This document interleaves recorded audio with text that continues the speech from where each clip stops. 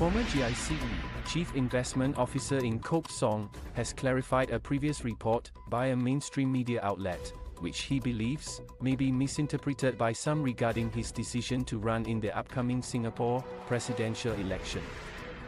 On July 26, the Straits Times published an interview with Ng, in which they asked the 75-year-old why he decided to enter the presidential race against former senior minister Tharman Shanmugaratnam.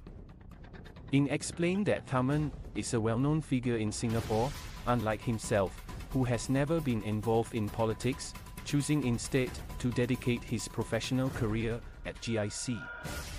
It is the following reply that caught the eyes of the public. It needed Ng to untangle what he meant when he said, Mr. Tharman is a very good friend of mine. We worked together for many years. I respect him and I'm running for president because he wants it. During a media doorstop last weekend at Geylang Serai Market and Food Centre, Ng took the opportunity to clear the air. Ng mentioned that Tharman welcomed a contest when he announced his intention to stand for the presidential election.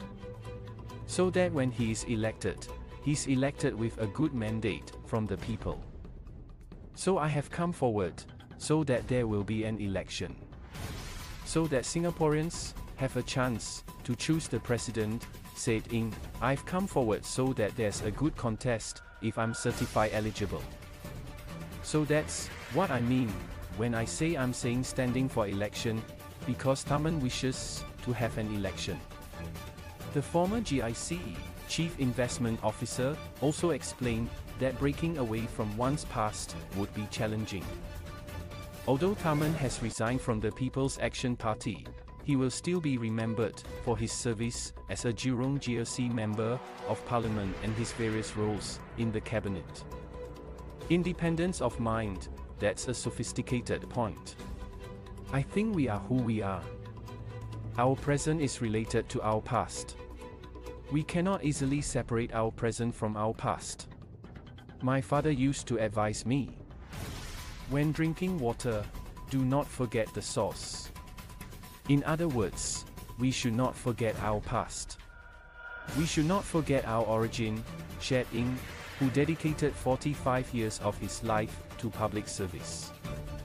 Ng embarked on his career in public service at the Ministry of Finance in 1970 before moving to the Monetary Authority of Singapore the following year. He then joined Singapore's Sovereign Wealth Fund GIC in 1986 and was appointed as its first Chief Investment Officer in 2007, a position he held until his retirement in 2013. Following his retirement, he co-founded Avanda Investment Management with two of his former colleagues from GIC in 2015, where he currently serves as the executive chairman.